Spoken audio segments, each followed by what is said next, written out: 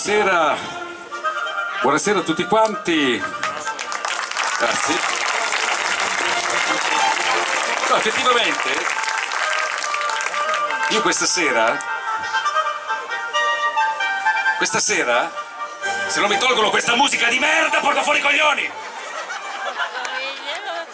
Che cazzo vuol dire sta musica qua? Sto parlando, che cazzo di musica mettete? Tu che cazzo ridi? Io rido. Vede uno che si incazza e ride. Che cazzo ridi? Capra! Capra! Capra! Capra ignorante! Cosa ridi? Porta fuori i coglioni! Incredibile. Che cazzo? Cosa applaudi? Cosa applaudi? Cosa vuoi? Al di là del fatto che io questa sera mi sento a mio agio come Flavio Briatore negli uffici di Equitalia, perché non dovevo essere qua. Io questa sera non dovevo essere qua. Io questa sera dovevo essere in una, in una cittadina qua vicino, in una cittadina piena di arte, in una cittadina piena di cultura, in una cittadina piena di monumenti, in una cittadina piena di poesia, in una cittadina piena di storia. Io questa sera dovevo essere a Ventimiglia.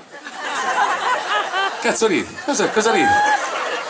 Le capre ignoranti ridono, uno non sa che, che cazzo ne sai di cosa facevo fare io a Ventimiglia questa sera? Allora io questa sera a Ventimiglia dovevo inaugurare un museo, un museo intitolato ad un pittore straordinario che è vissuto nel Settecento e sto parlando dell'Arturo Spalmafeci, un pittore straordinario.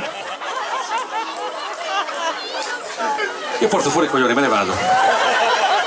Non è possibile che uno parla di arte, le capre ignoranti ridono, che cazzo ridete? Ma perché ridete? L'Arturo Spalmafeci era un pittore straordinario, un pittore poco conosciuto, ma comunque di grande talento. Pensate che era soprannominato Dito Sporco.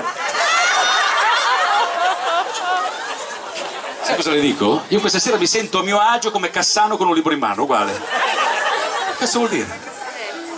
Allora, l'Arturo Spalmafeci, soprannominato Dito Sporco, era un pittore straordinario. Era un pittore che amava dipingere le tele con le dita, per quello si chiamava dito sporco, non c'è un cazzo da ridere. Dito sporco perché amava dipingere con le dita, ecco. Al contrario del suo illustre maestro, il Lino Sparasciolta, che amava dipingere con l'aerografo, con l'aerografo. Ecco. A spruzzo. A spruzzo, esattamente.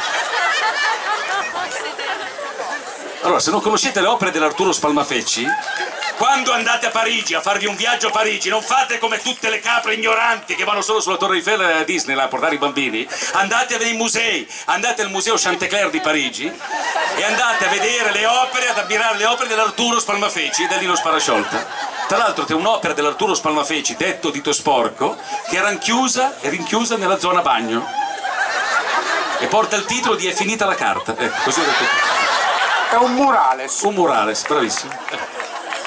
Io questa sera non dovevo essere qua, io questa sera non dovevo essere qua, dovevo essere a Ventimiglia, poi mi ha chiamato, mi ha chiamato l'assessore qui alla- al turismo, cazzo si chiama Orengo, Orengo, Orengo, Orengo, mi mi ha chiamato Orango, no come chiama? Orengo, Orengo, Orengo, mi chiama, mi chiama, mi dice guarda Vittorio io ti ho chiamato perché ci tengo che tu venga a Taggia a presentare un quadro che è stato trovato in una vecchia soffitta di una, di una casa antica e chi meglio di te può battere all'asta questo quadro, dico guarda credo, assessore, mi creda, sono, sono lusingato del suo invito, ma purtroppo non posso essere presente perché devo essere a Ventimiglia.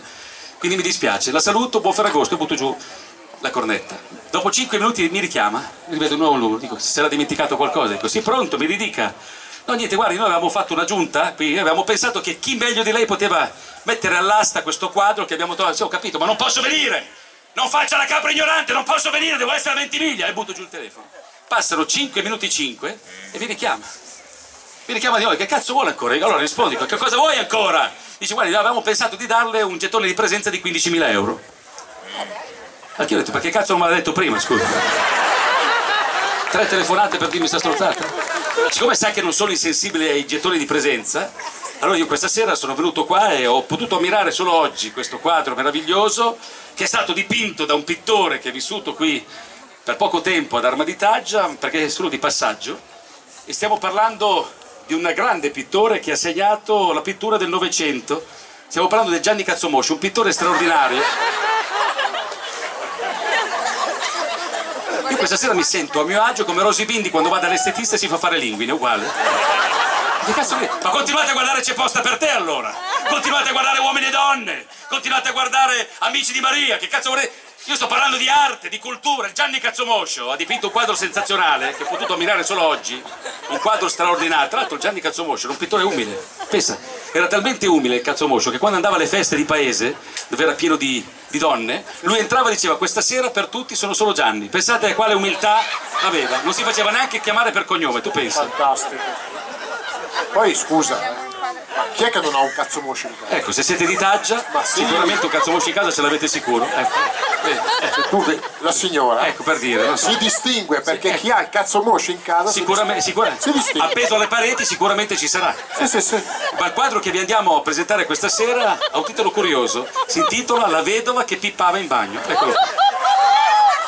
Uno, uno parla di un quadro tragico e le capre ignoranti ridono, ma che cosa ridete? Non c'è da ridere. Non c'è niente da ridere, è un quadro tragico. Parla di una giovane vedova che, essendo rimasta prematuramente senza marito, tutte le mattine al risveglio per ricongiungersi con egli ne aspira le ceneri. Per quello che si chiama la vedova che pippava in bagno. Lo riprende. Ecco, ecco, esatto. Allora, visto che non vogliono saperne della vedova che pippava in bagno, io questa sera ho fatto una scoperta che nel Novecento, siccome i pittori erano poveri, Come non c'erano soldi come oggi, allora cosa facevano? Si scambiavano le tele, si scambiavano le tele per dipingerle anche dalla parte opposta. Infatti questa moda è nata in Francia e lì è nato il primo double face, Vero. il quadro double face. Il Gianni Cazzomoscio passò la, la- la frontiera di Ventimiglia e incontrò Leonardo Minchiaritta, un altro pittore che era esiliato in Francia. E Leonardo Minchiaritta amava dipingere le maestranze. Allora fu, fu contattato da una giovane contessa, la Patrizia Chiavavene, che gli commissionò un quadro, un quadro meraviglioso, che parla di una giovane lavandaia che era timorosa, timorosa di andare a lavare i panni al fiume perché ella non sapeva nuotare. È vero. Allora, allora cosa faceva? Di volta in volta la faceva accompagnare dallo stagliere. Sì. Ecco, quindi ammiriamo la lavandaia timorosa, eccola qua. E anche di fronte ai quadri tragici non possiamo esimerci da sentire delle capre ignoranti che ridono. Allora la giovane, la giovane lavandaia, la giovane lavandaia non è più timorosa, lo vedi come ride? Perché è accompagnata da- dallo stagliere e poi non, non è- non ha paura perché ci sono solo 20 cm d'acqua. quindi- E 20 centimetri dietro che la tengono su. ma sa cosa le dico? Parlare di, di- di arte co- con queste capre ignoranti è come parlare di gnocca con i che vendola. Io me ne vado, arrivederci, grazie.